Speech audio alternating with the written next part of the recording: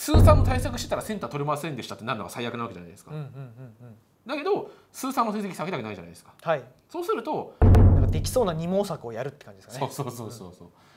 だし絶対やんなきゃいけないものだけはとりあえずやっとくって形ででもあくまで第一位は武田塾チャンネル。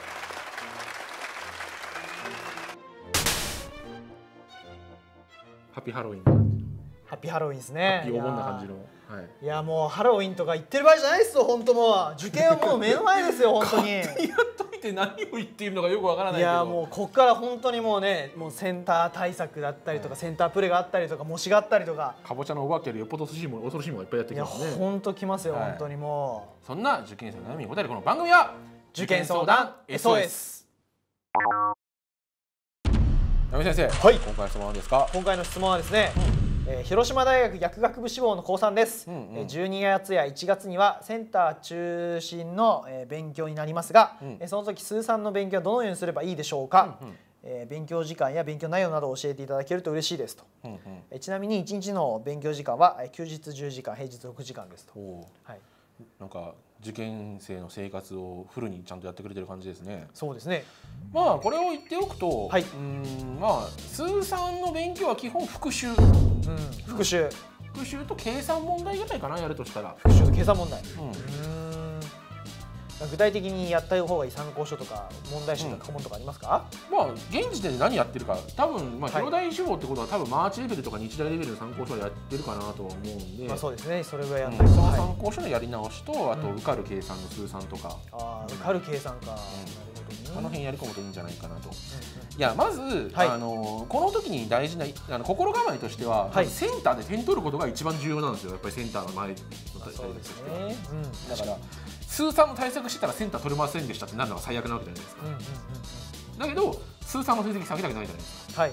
そうすると何をすればいいかって言ったら新しい知識を増やすんじゃなくて今までのことを固める方向に行くのと、うん。精度を上げる方向に行くという形になると思うんですよね。なるほど、うん。確かに、だから、基本新しいものはやらない。うん。やるとしても、はい。計算問題集だけ。なるほど。もしくはピンポイントではい。分野別のなんか微積だけを集めた参考書やるとか、なるほどなるほど。うんそのぐらいはやってもいいかもしれないけど、まあ、でも新しいもの今日やんない方がいいだろうね。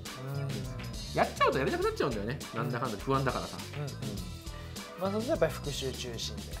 だってどう考えたってセンターの点取るのが一番入試に関しても有利になるんだから、うん国立志望だったら、はいうんだからセンターをまず全力で取れるようにして、うん。数三はまあ落とさないように、うん。まあ要はセンター終わった後全力で数三に時間使えばいいんだから逆に、うん。うん。そのための、えー準備をしっかりしておくっていうふうに考えておくといいんじゃないかなとは思いますね。なるほど。うん。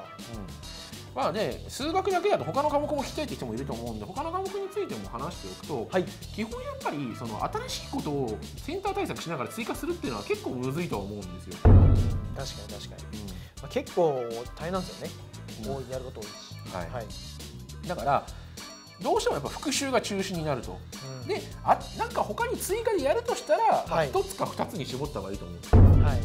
例えば英語だったらセンターの英語ひたすらやってる間は、うん。まあ、復習と英作文だけやるとかね。うんうん英作文はほらセンター終わってからやってもちょっと厳しいかなとかあるから。はいはいはい、最後和訳とかさ、うん。ね、だったらまあなんとかなるかなっていうのはあるけど、なんかできそうな二毛作をやるって感じでね。うそうそうそうそうだし絶対やんなきゃいけないものだけはとりあえずやっておくって形ででもあくまで第一位はセンター、うん。うんセンター全然苦にしてないんじゃない別にいいんだけどさ好きにやっちゃってもらうっていう。そうですね。そこまで安定してたらもうあとはもう何やってもいいよっていううんうん感じですね。